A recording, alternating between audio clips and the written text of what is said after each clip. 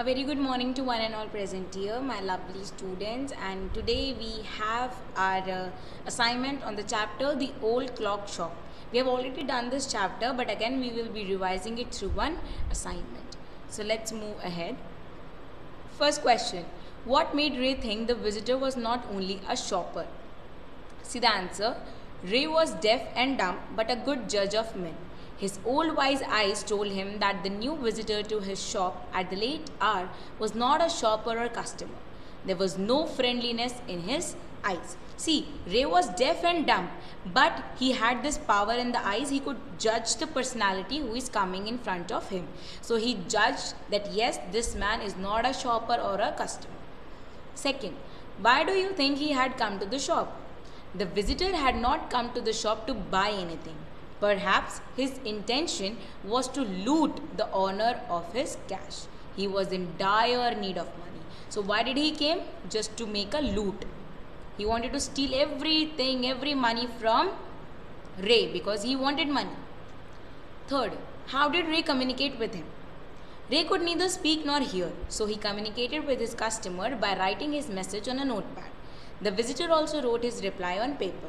So this was the way Ray used to communicate with the customers. He had a notepad, a sticky kind of stuff where he used to write the questions and the visitors should write the answers. So customer and the shopkeeper used to communicate through a notepad.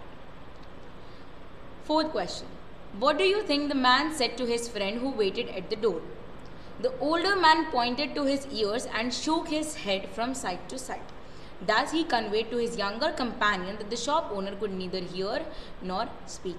See, oh, two, they were two, and one came inside and one was standing outside at the door only. So, the one who came inside, he just did the action like this and this, and he could, so, and he did like this. So, then he understood the person who was standing outside the young companion he understood that the shop the shop owner cannot speak or hear fifth ray was not a pawnbroker why did he lend money to people in exchange for their old watches and clocks? So the answer Ray was not a pawnbroker, a person who lends money on security of some item. He did not lend money on interest. He was, however, kind and helpful. He couldn't say no to the needy. So he was not a pawnbroker. He did not uh, take the stuff and lend them money for a time.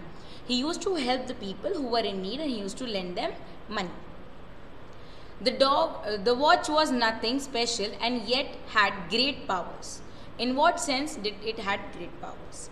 Now the watch was very ordinary, the watch was very simple, but it had great powers to pull a person out of a bad situation. This line was said by Ray to the shop, uh, the customer, the one who came to shop. The older man got the money he needed without hurting Ray. The generous shopkeeper also escaped physical injury. In this sense, the watch had great powers.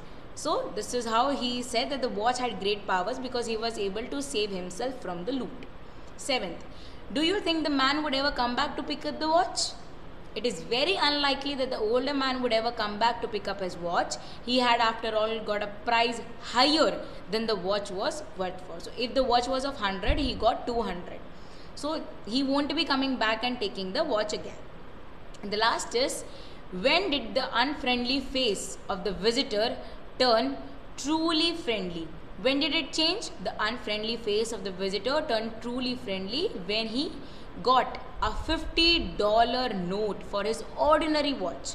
He felt obliged and happy.